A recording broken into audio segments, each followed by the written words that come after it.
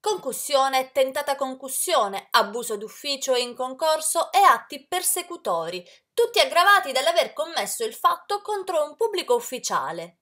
Falsità ideologica commessa dal pubblico ufficiale in atti pubblici in concorso, induzione indebita a dare o promettere utilità, raccolta, trasporto, abbandono incontrollato di rifiuti speciali non pericolosi e violenza sessuale aggravata dall'aver commesso il fatto contro un incaricato di pubblico servizio e dall'aver abusato di autorità e relazioni d'ufficio.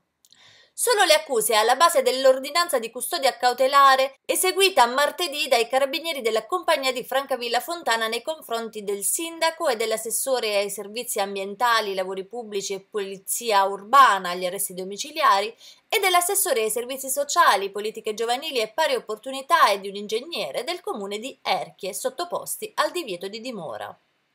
Stando alle indagini, i reati sarebbero stati commessi tra ottobre 2020 e maggio 2022. Si attende ora l'interrogatorio di garanzia degli indagati e quindi il confronto con la difesa degli stessi. Nel frattempo, la sospensione dei soggetti coinvolti dalla carica è una misura necessaria per garantire la trasparenza e la correttezza dell'azione amministrativa.